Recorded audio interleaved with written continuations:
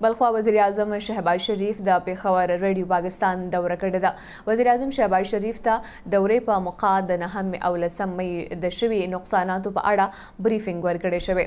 وزیراعظم ته د رېډیو پاکستان بلډنګ او بحالۍ په اړه باندې بریفنګ ورکړې شوې. وزيراعظم سره د اطلاعاتو وفاقي وزيره مريم اورنګزېب، داخله وزير رانه ثناء الله او نور وفاقي وزيران هم په دغه دوره کې موجود وو.